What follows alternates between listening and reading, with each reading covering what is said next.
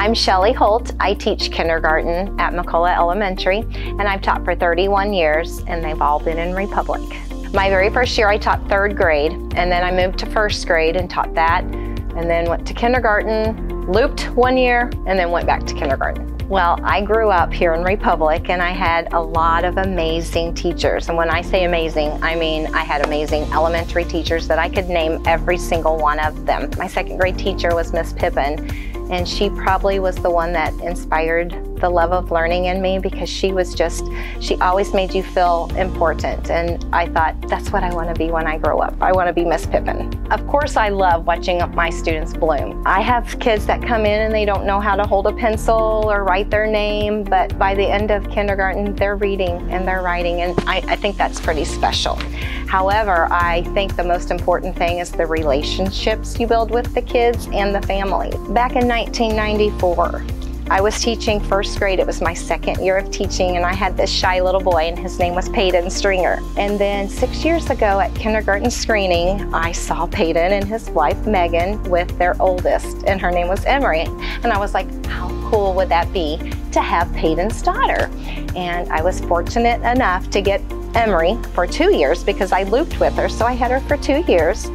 And then the following year, I got their middle child, which is Finley. And then this year, I have Penny. So I've completed all the Stringer kids. And I think that that's pretty, it just melts my heart to know that I was able to teach Paden and his daughters. 30 years ago, in 1994, Daddy was in first grade and had Miss Holt, right? And then Emery had her. You want to say how many grades you had?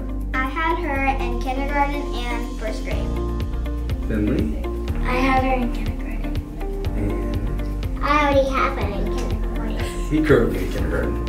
You know, we uh, as a family have had firsthand experience. Um, uh, when I had Miss Holt, obviously a long time ago, but uh, I remember her being so sweet and caring, and um, she also can be very firm though too. you know, we had a had a couple good friends in my class at the time. We were always kind of rough and rowdy, but she would put us in our place very nicely though, and uh, so I respect that and I remember those days. It's, it's been really cool to see the transition of, of each of the girls through their growing up uh, and having her and how they've adapted and uh, how each each individual girl has kind of changed and evolved around what she's taught them. And she's a legend in our house, and, and uh, we are so thankful for her and um, for everything she's done and continues to do. And um, yeah.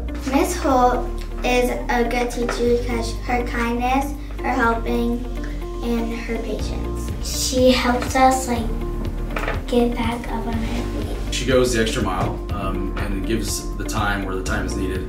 And uh, every child that has had an interaction with her knows that she's so sweet and kind and, and cares so much about everybody in the classroom and the, the district as a whole. And um, so that's why she's so special to us, yeah. I don't think there's very many people that have had a son and then all of their kids. I think that that's pretty special, but that's probably why I'm still here. You know, it's 31 years and I'm still going strong. And I just hope that I made a difference in their life. You know, I don't know if I did, but I hope I did because that was my goal is just to make sure that my kids feel loved.